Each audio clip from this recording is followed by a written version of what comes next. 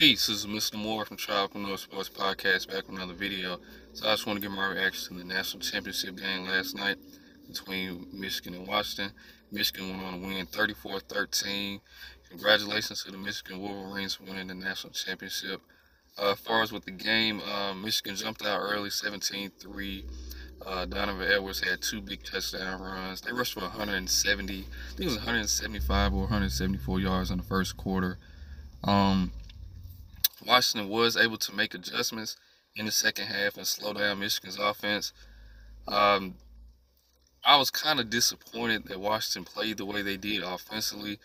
Like I said, the second half, the defense gave them ample opportunities. Um, Michael Penix Jr. never got comfortable. They were never uh, able to get into a rhythm offensively. And um, I know Johnson, the running back, was hurt, so that kind of affected, to me, kind of affected their game plan not being able to run the football effectively enough to kind of open up the passing game. And I think they kind of forced Washington to throw the ball a lot more than they wanted to, even though they do throw it a lot. It seemed like they were pressing. Uh, credit to Michigan and their game plan. And that's one thing about noticed about them all season. They never deviated or went away from what they do best. Uh, so credit to them. But uh, Washington did have chances to win this football game. Penix missed a few throws, particularly to Odunze. Um, they had a few drops as well too, so they were just never able to execute.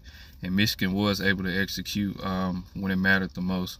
And also, I want to say this: um, I can't say enough about how um, Michigan as a program handled this season. Um, go back to the beginning of the season, Jim Harbaugh suspended the first four games of the season.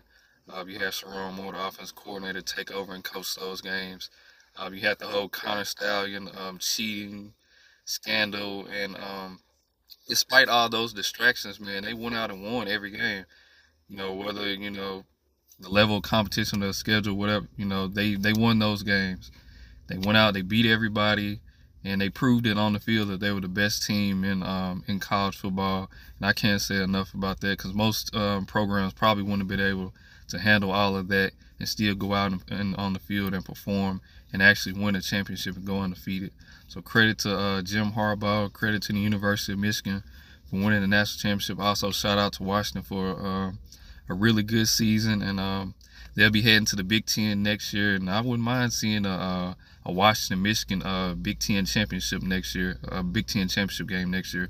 So those are just my thoughts. Leave your thoughts in the comment section. Take care. Peace.